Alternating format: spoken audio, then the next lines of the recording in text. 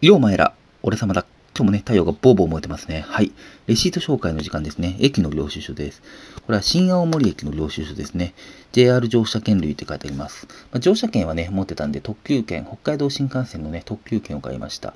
新青森から新函館北斗のね、特急券3930円ですね。青函越えはね、かなりお金がかかります。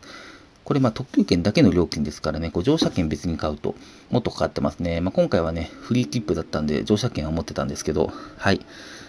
で、えっ、ー、と、新青森駅のね、近くの健康ランドを出てね、朝早い時間に買いました。時間は書いてないかな？時間は書いてないけど、なんかすごい早い時間だった気がしますね。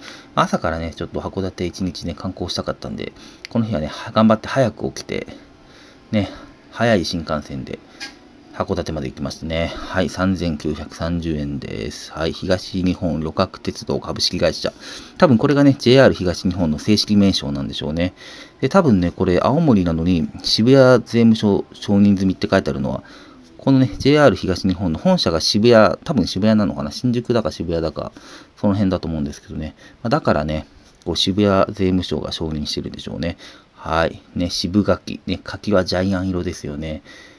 あんまりにもね、柿が熟しすぎると地バネ色になるかもしれないけどね。はい、話がずれました。ということでね、今回は新青森駅のね、新幹線の領収書でした。